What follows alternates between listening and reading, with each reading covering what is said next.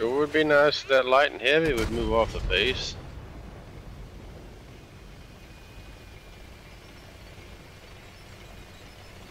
Sure could use some spotting over here.